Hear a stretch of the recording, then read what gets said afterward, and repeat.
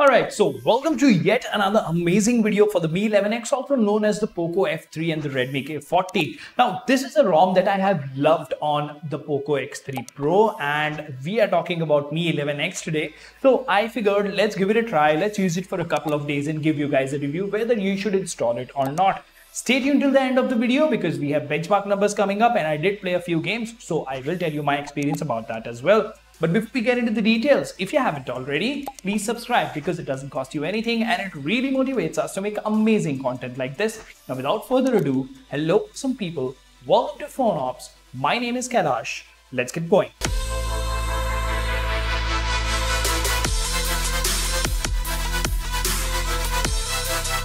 Now first things first, let's see what we have here. We have Derpfest official Android 12L updated on the 3rd of July 2022. Now if we talk about the changelog, most of the time the changelog on these ROMs is I was about to say that extensive. So I'm not going to get into the details of this very, very long change log, but the notes are very, very important. It does have G apps included. SE Linux status is enforcing CTS is passed by default, which means your ROM is secure. You can use banking applications, recommended firmware, whatever works better for you. I always use the latest Indian firmware because my device is an Indian Mi 11X, right? Now can be dirty flashed over previous updates and OTA will work only with stock recovery. So not your TWRP, but your stock Derpfest or Lineage OS recovery, whatever this ROM works with right? Now that's everything about the ROM, but how does it run? How good is it? What are the features and how does it perform?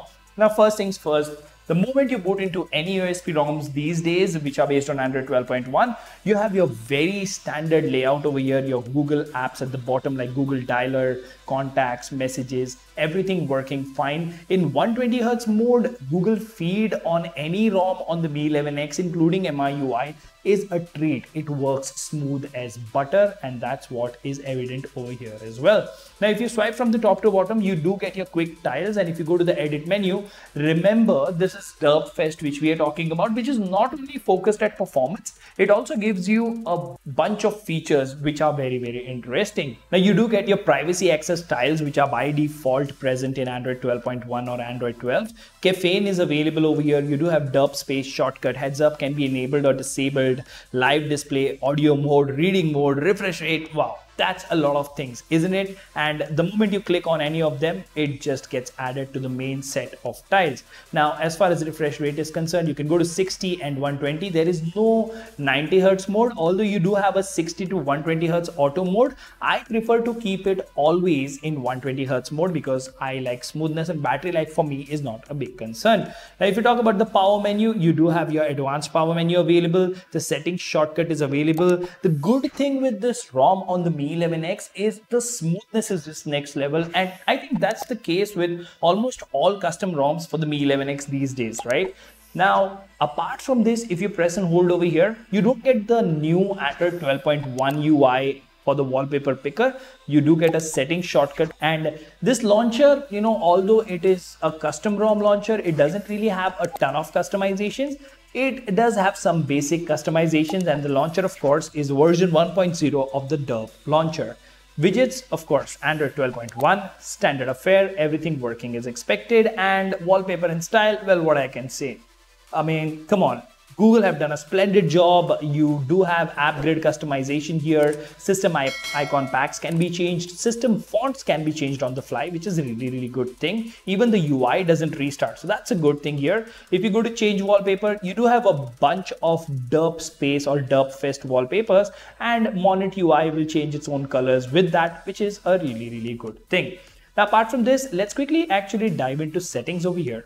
Let's go to about and let's see what all we get. We get Android 12L in this official version of Derpfest. This is the maintainer's name, June security patch, and the kernel is the Lumos CAF plus kernel. So whenever you have CAF in the picture, you will notice that most of the time the performance of these ROMs with CAF kernels or CAF features is very very good and that's the case with Derpfest as well. Let's quickly dive into settings before we actually get into the performance part of it and all the options over here are pretty pretty standard. You do have a enhanced game mode over here in which you do get angle experimental drivers and stuff like that. You have your preferred performance mode and all the features like block full screen event, disable auto brightness, disable swipe screenshot, they are present and they work just fine. So the moment you launch any app or any game, you will see that your game space, which now looks much, much better, is available.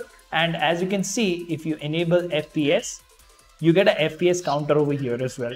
Although the 90 FPS for games is not unlocked and switching between apps is sweet. It's very, very smooth. You can have a screenshot over here, clear all button and a Google Lens button. If you press over here, you can have multi window, which is a good thing. As you can see, two apps running at the same time and the cohesive experience is something that I really, really like about Derpfest right? Now, that's not everything. If you further dive into settings, you will see you have something called as derp space, warning insanely cool stuff ahead. So that's a good way to portray your home and I kind of like it because it's good, right? I mean, we will say not so good things about this ROM as well, but for now, let's pick the good ones, right? Now you do have battery customization over here, ton of options, carrier label customization, clock and date settings, status bar items can be enabled, disabled, traffic indicators as you can see can be enabled and you do have some miscellaneous customizations including the Derpfest logo and just look at the amount of options you have in the first menu itself. Then you have notification customization, quick setting customization, I mean, you can go on and on about this particular ROM as far as customization is concerned. Lock screen shortcuts, lock screen UI, ambient and always on display can be enabled or disabled at your will. You do have Monet override over here, which means you can customize the Monet engine as well. You do have navbar pulse. I don't use a navbar, so that's okay for me on-screen navigation bar and general settings. Unlimited Google photo storage is available and burn-in protection is available as well. Now, as far as this ROM is concerned, your banking applications or Amazon Prime HD, or if you even talk about, you know, Netflix HD and stuff, it should be working just fine because Widevine L1 is present.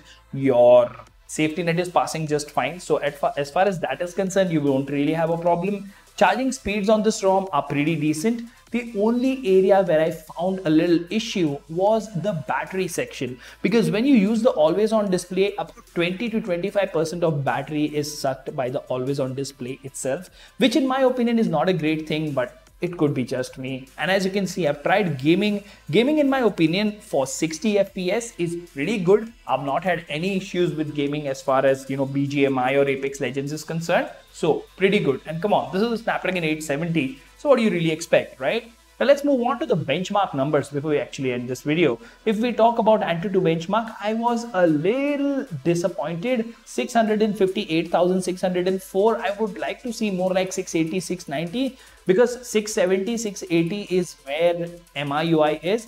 The temperature did increase by 5.3 degrees and the battery did drop by 4%. Now, moving on further, if we actually go to Google Photos, where we do have unlimited storage, we can have a look what sort of CPU throttling did we get, right? So let's quickly have a look at that.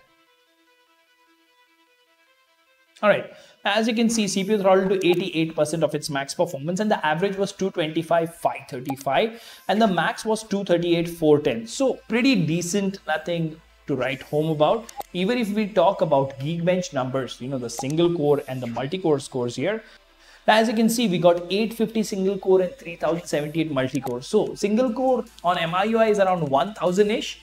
We are losing around 150 points there. So that's about, I don't know, 15%.